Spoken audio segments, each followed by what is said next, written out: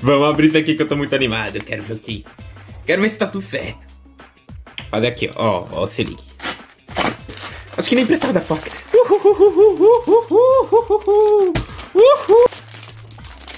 Ai, disso que eu tô falando.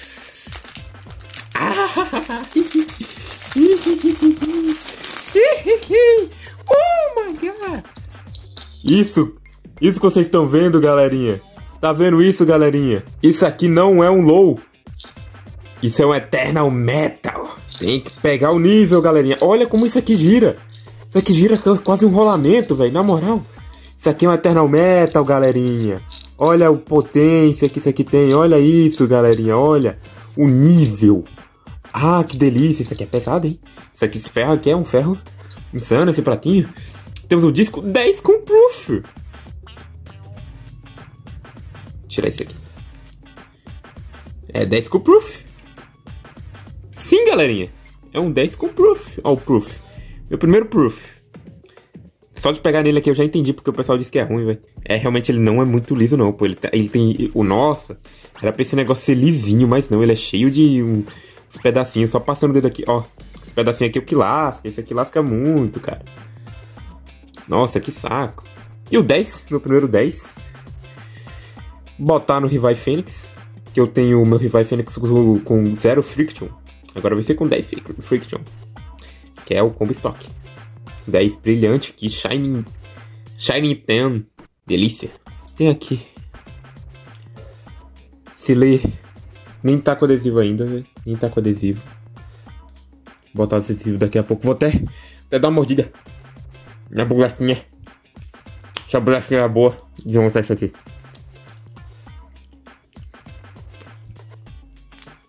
Como que tira? Vou quebrar o negócio, velho. Tá muito duro. Tá bom, depois eu tiro. Não vou querer quebrar agora, não. Cadê?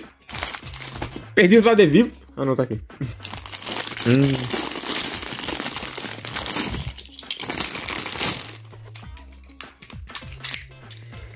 Hum. Uh.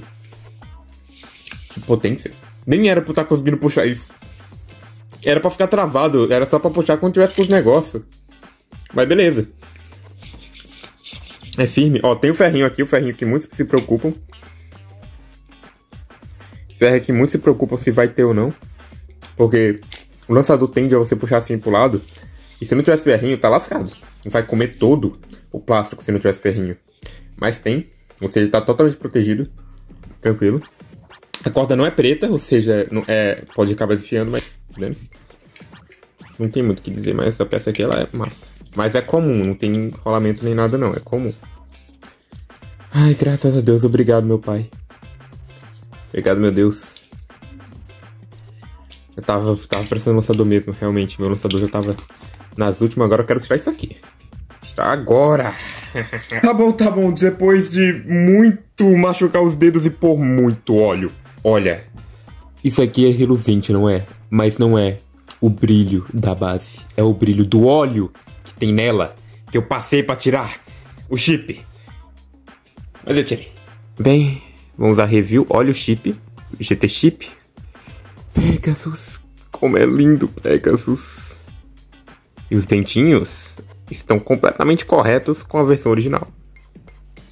Isso torna bem ruim, sim.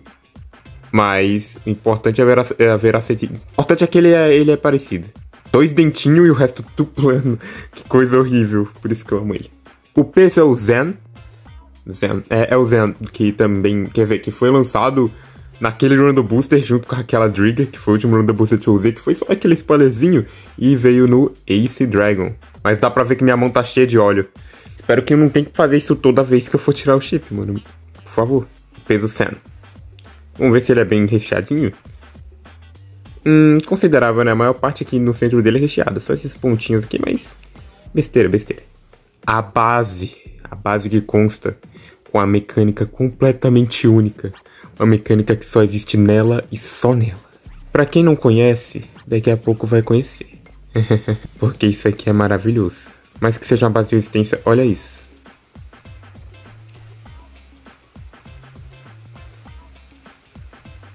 Olha aqui como ela é de lado. Que delicinha, que delicinha. Acho que tinha, era pra ter algum lugar amarelo, mas eu acho que esqueceram, mas eu não tô nem aí. Disco 10 que eu já mostrei bonitinho. Ele, é, ele tá muito recheado, olha isso, ele tá bem pesado. Brilhante. É o 10 como deveria ser. E ele vai pro Revive Phoenix. O Proof que eu já mostrei um pouco. Oh, oh, oh, oh, oh. Ó, isso aqui é a parte de baixo dele, ó. Todas essas bolinhas. Negocinho aqui, cara, que coisa terrível, mano. Isso aqui era pra ser um negócio completamente redondo, mano. É uma pena que fizeram isso com o Proof. Nerfaram demais o cara. Isso aqui é a novidade. Eternal Metal. Não é Metal Eternal, é Eternal Metal. Uma coisa que você só pode encontrar nos Beyblades fakes. Incrível, incrível. Ele tem uma ponta bem grande, mano. Coisa estranha. Meu outro Eterno tem uma ponta bem mais baixinha que essa. Mas acho que é porque ele tá gasto, eu nem, nem deveria lembrar como que era. Olha, isso aqui gira tão bem. Cara, isso aqui é tão gostoso, tão confortável. Com certeza esse drive aqui vai entrar no metas do meu canal. Acabei de perceber uma coisa, galerinha. Eu desmontei o Bay pra conseguir tirar o chip. E eu percebi agora. Eu montei ele sem as travinhas, não! Esse parafuso. E já consigo encaixar, não vou precisar desmontar tudo. Obrigado, meu Deus. Obrigado, designers da Takaratomi também.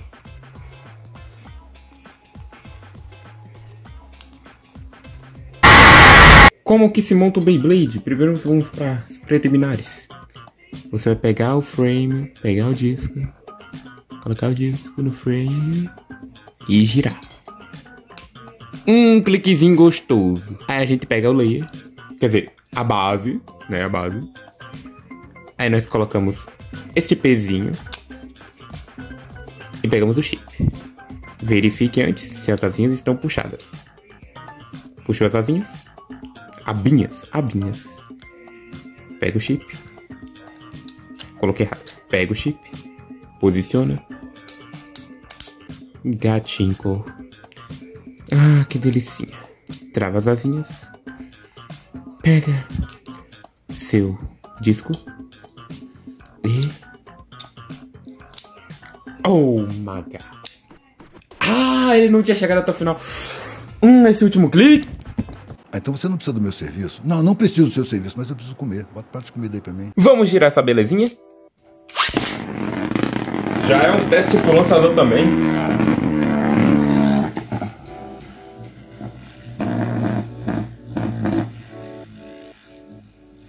Olha a estabilidade, mano. Olha a estabilidade.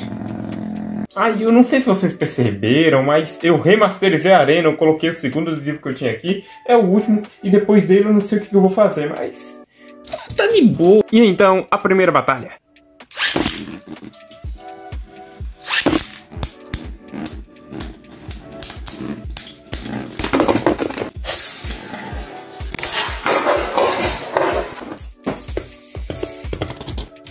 Como podemos ver, ficaria aqui realmente é Claude bem fácil.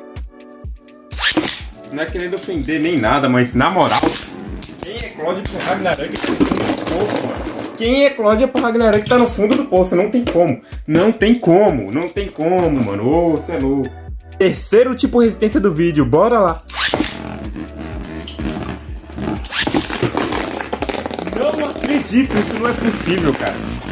Isso não é possível. É só triscar no B e ele é Claude, mano. Que vida. Meu Deus, Kevin Pegos é horrível.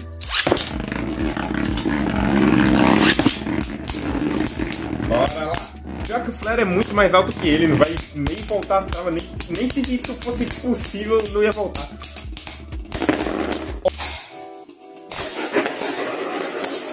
Oh, é assim que se faz, mano. Você lembrou que perder não dá dinheiro, mano?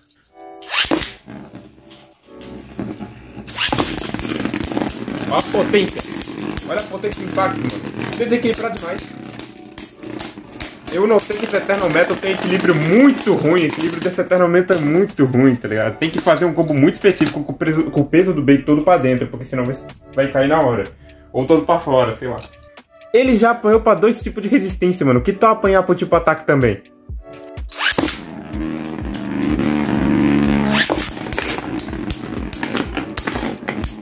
Tá aguentando bastante, velho.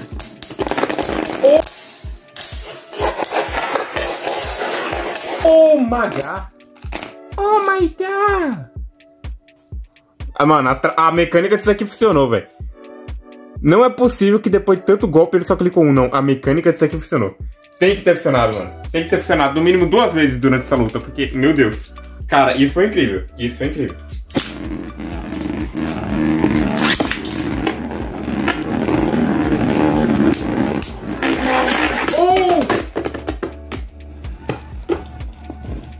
Vocês viram isso? Cara, quando o Ultimate Reboot ligou Cara, essa foi. Nossa, ainda bem que eu filmei isso. Esse foi o despertar do Ultimate Reboot. Esse foi a reinicialização Gênesis Suprema mais linda que eu já vi. Que magnífico, magnífico. Ó, ele solou o Odin. Solou o Odin, mano. Perdeu pro Flare Dragon, que é horrível, mas solou o Odin.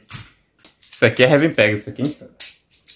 Tá bom, tá bom. Olha, ele apanhou bastante no vídeo. O unboxing foi bem ruchado. Foi o unboxing mais estranho que eu já fiz, mais é, menos clean que eu já fiz. Mas foi um unboxing legal, foi divertido esse Bay aqui, eu, eu amei ele. Beyblade lindo, gostoso esse Bay. Coisa maravilhosa. Ele veio com... Sorte, cara. Ele veio até com um drive que não existe, mano. Isso não... Isso não é possível não, mano. Esse Beyblade aqui é épico demais. Eu adorei ele, adorei. Mesmo ele sendo horrível, eu adorei. Isso aqui é o Heaven Pegasus. Tá, já tá disponível no torneio de combos. E é isso aí. Espero que tenha gostado. Dá like, se inscreve aí no vídeo e falou.